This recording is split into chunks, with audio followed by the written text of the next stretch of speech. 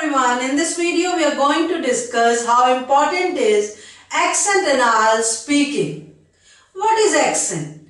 Accent is the way we speak. It reflects which country we belong to, which region we belong to. Every region and state has different accent. But you need not to copy any particular accent in IELTS speaking because there is no criteria for accent in IELTS band descriptors. If you go through the rubrics, you will not find under pronunciation there is any mention of accent. So you should not change your accent. Be yourself. Be natural.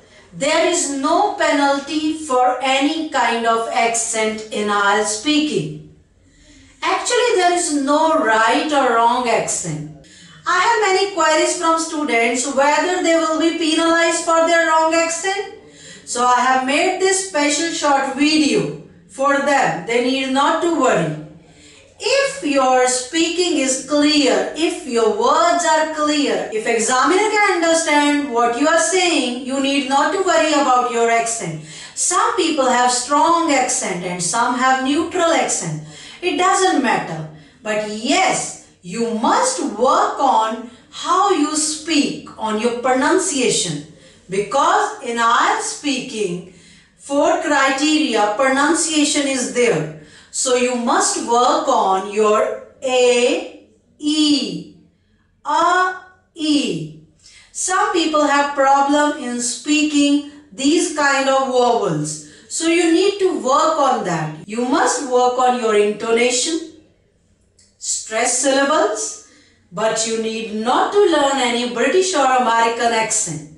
For example, even I have influence of my mother tongue in my speaking, but it won't affect my IELTS score. I need not to talk like when I was going there, I was thinking like that it will sound artificial and while changing my accent I will lose focus on what I was saying.